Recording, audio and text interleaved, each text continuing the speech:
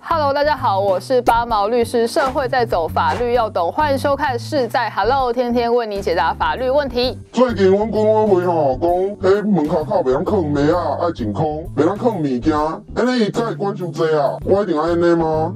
这个网友哦，遇到跟八毛律师最近一样的问题，因为我们事务所的楼梯间本来都有放垃圾桶，然后定时会来收垃圾，但是最近呢，我们的管委会也是做出一个决议哦，认为说这些垃圾桶应该全部都要清空，然后变成我们现在如果要丢垃圾的话，就要坐电梯下去比万。其实是非常麻烦的，我自己也觉得非常麻烦。可是呢，这个是于法有据的，因为根据我们公寓大厦管理条例第十六条第二项，它其实就有明文规定哦，住户不得于私设通路、防火隔间、开放空间、楼梯间、共同走廊堆放杂物。那如果经过制止然后不遵守的话，依法可以处四万元以上二十万以下的罚款，而且可以连续开罚。连续开罚意思就是说，如果我罚你四万，你还是不拿走，我就可以一直罚你四万，一直罚你四万，罚到你拿走为止。那不止这样哦，如果你堆放这些杂物造成别人跌倒受伤，可能会造成过失伤害罪。那严重一点的，如果引发灾害哦，可能就会涉及公共危险罪，其实都非常严重。所以大家麻烦一点，把这个楼梯间呢跟公共区域清空，其实是对大家的安全比较有保障的哦。迄管委会讲，家己定规矩，安尼会使无？像阮社区就讲，动物不能落地啦。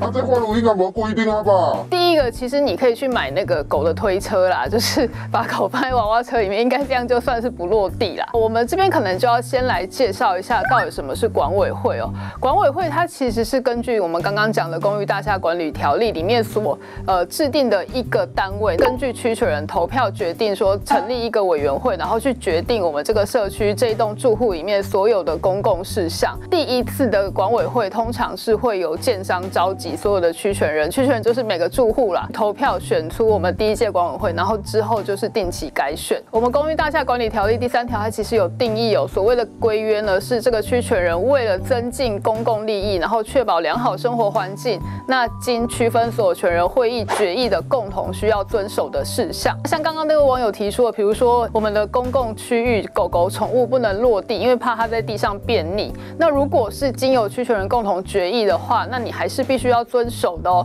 那除非有一个状况，就是如果你发现这个会议有一些违法的事项，譬如说没有到达法定开会的人数，那法定开会人数不足，但是他们还是做出了决议，那这个时候你就可以提出疑问说，哎，你们这个决议是不是没有经过正当的法律程序做出来的？这个时候去否决这个决议的效力。不然，如果是经过正当法律程序做出来的规约，那一般的住户都还是要遵守的哦。管委会吼讲，若无照迄个规矩吼，搁爱罚钱呢，安尼会使无？管委会呢，它虽然有一些权利哦，可以去决定一些些规约，可是它到头来说，它还是只是一个民间组织，只是这个住户里面共同形成的一个单位哦，它不具备执行公权力的能力。所以，如果管委会对住户罚款啊，或者是限制住户使用财产，譬如说，有的管委会可能会定出一些规则，说啊，如果你违反我们的健身房的规定的话，你就多久多久不能使用这个健身房，或者是多久多久不能使用游泳池。但这时候反而有可能因为侵害到住户的财产权而吃上官司哦。